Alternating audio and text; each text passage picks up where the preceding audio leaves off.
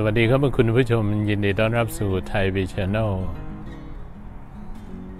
คลิปนี้นะผมจะนำเสนอการปลูกพืชผักสวนครัวในดินแดนทะเลทรายนะฮะตั้งแต่เริ่มต้นจนให้ผลอย่างที่ท่านเห็นอยู่นะเขียวๆนั้นก็ต้นกะเพรานะครับ ติดตามชมได้เลยครับ ต้นกล้าที่หว่านไว้ในกระถางใหญ่นะครับ เราแยกออกไปใส่กระถางอีกกระถางหนึ่งนะครับ ลูกพืชผักในกระถาง อันนี้ต้นกล้าโหระพานะครับ อันนี้ตำลึงนะครับ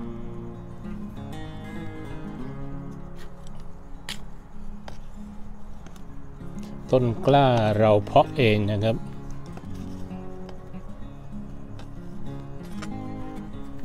ตำลึงนะครับ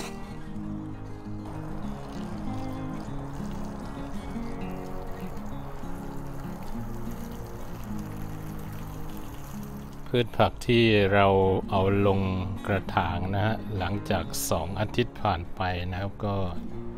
เจริญเติบโต อันนี้กระถางที่ใส่น้ำนะฮะเราไม่ได้ใช้แล้ว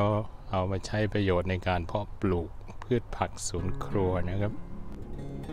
กะเพรานะครับที่เราแยกจากต้นกล้าเล็กๆมาใส่กระถางนะครับ มะเขือที่เราปลูกในกระถางก็เจริญเติบโตนะครับ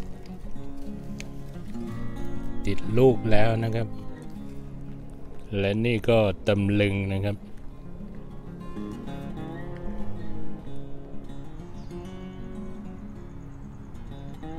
หนึ่งเดือนครึ่งผ่านไปก็โต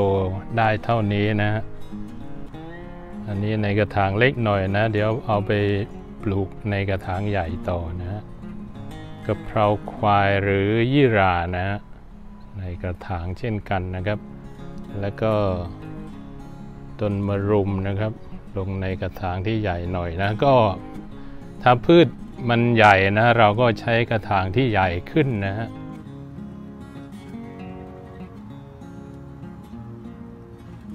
พืชผักอย่างอื่นเราก็ปลูกนะฮะ เพื่อนำมาประกอบอาหารนะไม่ว่าจะเป็นตะไคร้ต้นแมงลักนะครับ หรือว่าสาระแหน่นะฮะพร้อมทั้งต้นมะกรูด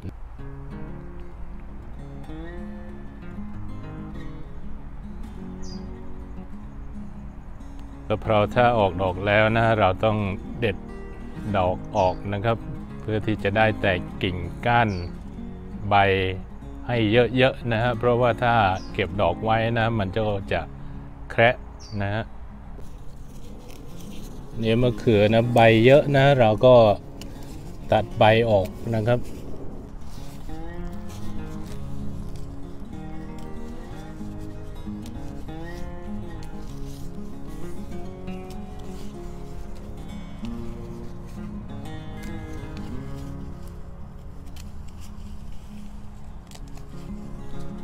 นี่นะครับตำลึง ใบเยอะแล้วนะเรา เดี๋ยวผมจะต้องเก็บไปแกงจืดตำลึงนะมะเขือเปาะนะครับที่ปลูกไว้หลังบ้านนี้ให้ผลได้กินแล้วนะครับ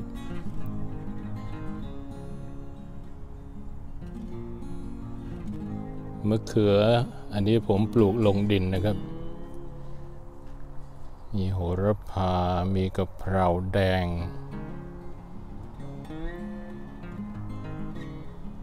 นี่เก็บลูกสดๆเลยนะครับ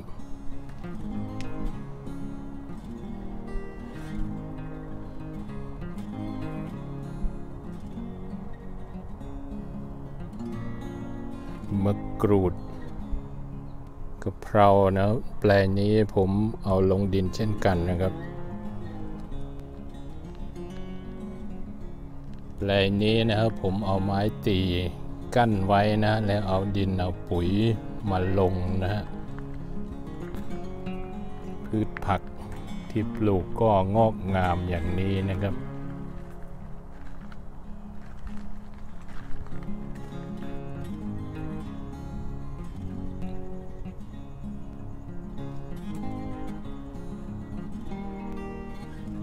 ลูกในกระถางก็โตงอกงามอย่างดีนะ เพราะเราพรวนดินใส่ปุ๋ย ทั้งปุ๋ยขี้วัวและปุ๋ยที่เขาผสมแล้วนะ เอามาคลุกเคล้าผสมกันนะ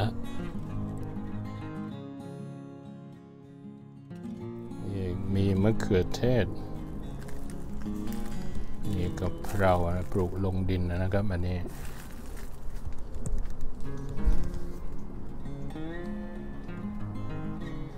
พริกกำลังออกดอกออกเม็ดให้นะครับบวบนะครับ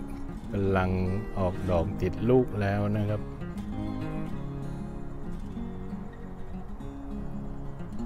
ว่านหางจระเข้ปลูกลงในกระถางนะครับ นี่ก็ต้นพริกมะระ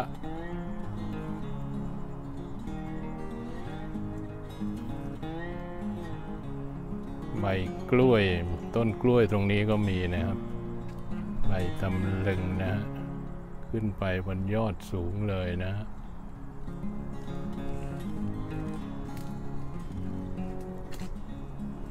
เมื่ออากาศเย็นนะพืชผักก็ดูสดชื่นสวยงามนะ ไม่เหมือนตอนอากาศร้อนๆที่เมืองลาสเวกัสก็จะใบจะเหี่ยวหมดนะครับ ติดดอกมาก็ไม่ติดลูกนะ ดอกจะร่วงหมดก่อนนะครับ ตอนนี้อากาศเริ่มเย็นแล้วนะฮะ ก็ไม่ถึงเดือนกว่ากว่านะ ก็จะถึงหนาวมีหิมะบ้างนะครับที่นี่ บางปีมีหิมะลงด้วยนะครับ เพราะฉะนั้นแล้วแต่ปีไหนถ้าหิมะลงพืชผักพวกนี้ก็ตายหมดนะครับ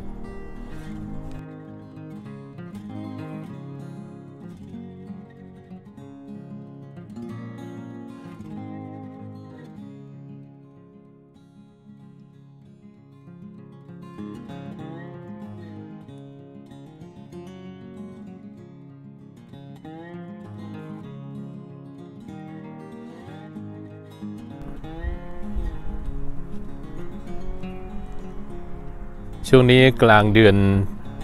ตุลาคมนะครับ ซึ่งอยู่ในฤดูใบไม้ร่วงนะครับ เพราะฉะนั้นอากาศที่นี่ก็เย็นลงนะครับ พืชผักสวนครัวที่ผมปลูกไว้นะก็ออกดอกนะฮะนี่อากาศเย็นๆก็เลยติดลูกให้นะครับ